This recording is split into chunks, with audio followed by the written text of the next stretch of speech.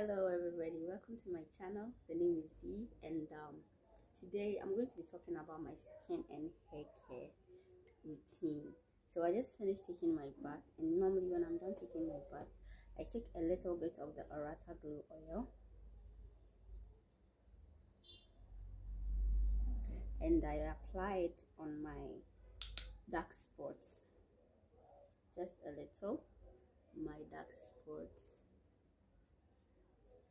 everywhere that there's a dark spot apply a little of the Aurata Glow oil and um, once I'm done I apply some on my knuckles and um, I rub it before I apply my lotion. Mm, that's for my skincare.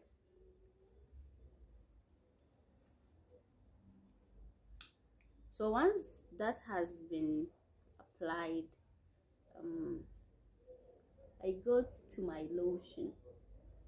But before that I apply some on my dark knuckles and my dark spots. You know there are dark spots on my chest. So I applied some on my dark my knuckles.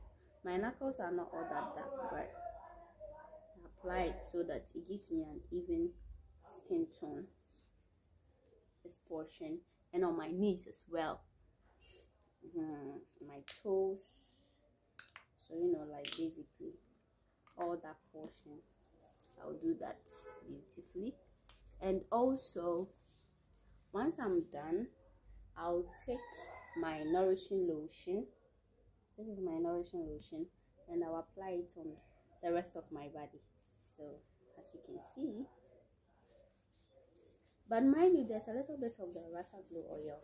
And this Harmattan, you need to nourish and stay moisturized because the weather can crack up your skin and it's very, very crazy. And leave your skin feeling very, very um not nice. So I'm going to apply the lotion, the lotion all over my body and then I'll come to my hair, show you the product I use for my hair so i'm done moisturizing my skin so the next thing is so the next thing is so the next thing that i'm going to be doing is my hair. So um yes i'll upload that video next